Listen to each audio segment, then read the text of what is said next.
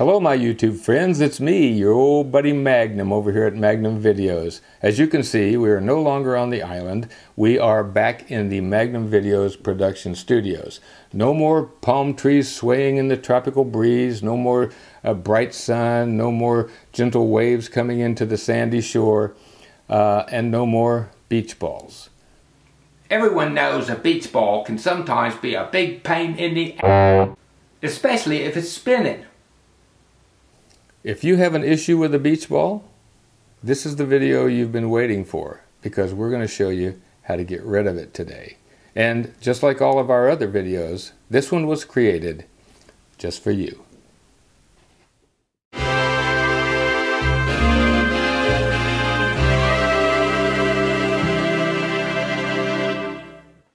Alrighty, if you have a Mac, chances are that you have at some time seen that spinning beach ball of death, or the BBOD as it's called.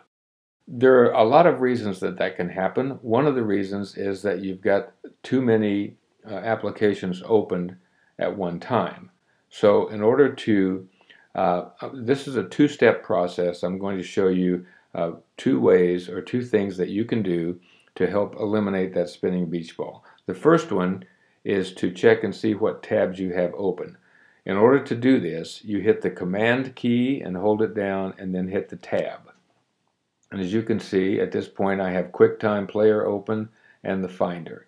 If you've got a bunch more showing up in there, you can just put your cursor over them and hit uh, hold down the command and hit the letter Q on your keyboard. So that is a pretty simple and pretty quick uh, fix that will help and if that doesn't do it, then we need to go look at your permissions. So you go into your applications, I'm, I'm down here at the bottom, applications folder, and go to your utilities folder right here, and then click on disk utility.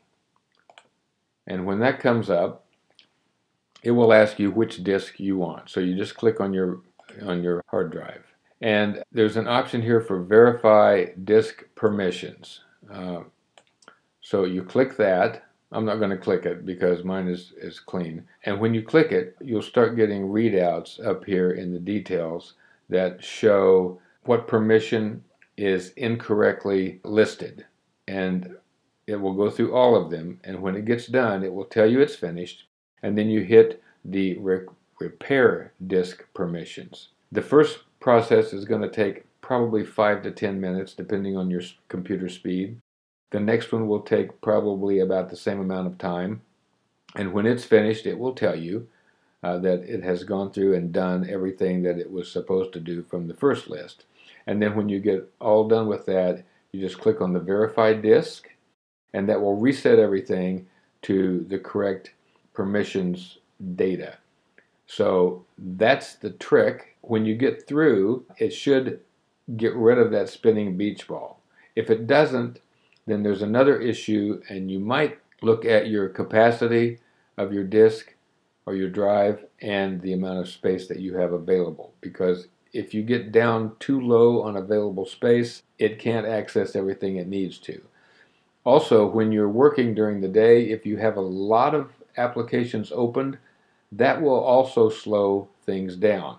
So any of them that you're not using, go back and close them or quit them. You might have to do a force quit, and that will that will probably probably be the better option.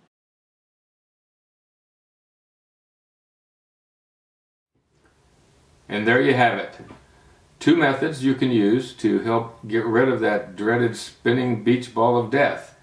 If you want a spinning beach ball, go to the beach. Otherwise, use these methods and see if it works. I'd like to know if it's helpful, so leave a comment and let me know if it did the job. So I think that's it for today. Until I speak with you again, and even after that, you stay focused.